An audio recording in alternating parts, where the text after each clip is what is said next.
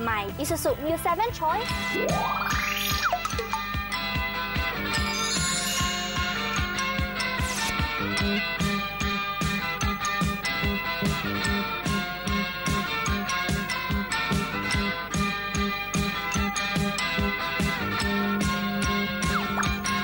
ท่านผู้ชมคะศูนย์ธุรกิจใจกลางเมืองนะคะ เขาเรียก